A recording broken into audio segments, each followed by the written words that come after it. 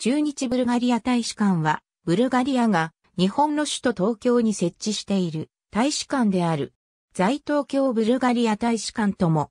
1939年、大日本帝国とブルガリア王国は相互に公使館を設置することに合意して外交関係を樹立。1942年5月、東京市に中日ブルガリア公使館が開設され、同年9月10日、初代中日公使ヤンコペイフが昭和天皇に信任状を法定した。1944年9月にブルガリア王国で共産主義政権が成立したことを受けて日本とブルガリアの国交が途絶する。1945年1月8日、二代目の中日公使ストヤン・ペトロフ・チョマコフにより、中日公使館が閉鎖された。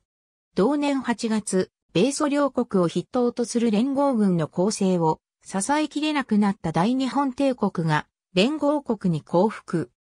1952年4月28日、サンフランシスコ平和条約の発行により日本国が独立したが、ブルガリア人民共和国を含む共産主義国は同条約に締結していなかったため、この時には日本とブルガリアの国交が回復していない。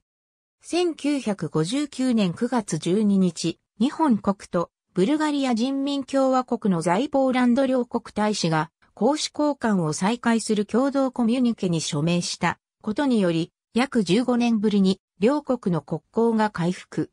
1960年、三代目の中日公使、フリスト・ボエフが東京に赴任して、公使館が再開した。1964年、日本国とブルガリア人民共和国の公使館が相互に大使館へ昇格して、初代中日大使にフリスト・ズドラフチェフが任命された。1989年にブルガリア人民共和国で共産党独裁体制が崩壊し、翌1990年には国名がブルガリア共和国に解消されたが、日本との国交や大使交換は現在に至るまで途絶えず継続している。2021年4月14日より、マリエタ・ペトロバ・アラバジェーバ・デ・デスカルシーが特命全権大使を務めている。ありがとうございます。